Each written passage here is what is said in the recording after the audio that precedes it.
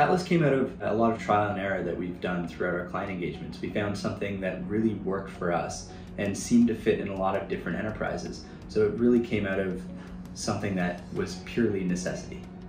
It's really simple to actually get uh, logs and metrics and parameters stored within your, your code.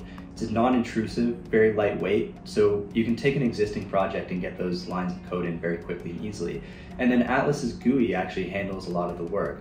So you can go in, you can sort by metrics, you can sort by parameters, you can even visualize things on graphs to see how models have evolved over time.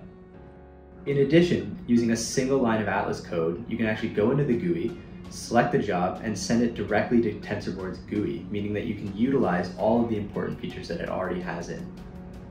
So within Atlas, we actually have a built-in scheduler. So this can be set up across multiple nodes in your environment, and we can all submit as a team uh, jobs to the centralized location, which means that I can submit 15, 20, 100 jobs to this location, go for lunch, go for dinner, whatever I'd like, and come back later on.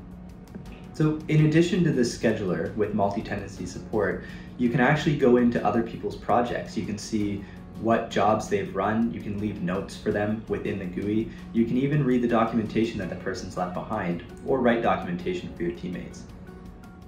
Reproducibility in Atlas is top priority. The original goal was actually to make sure that we could go back to any point of time, any job that is run, and replay it. And that's completely doable within Atlas.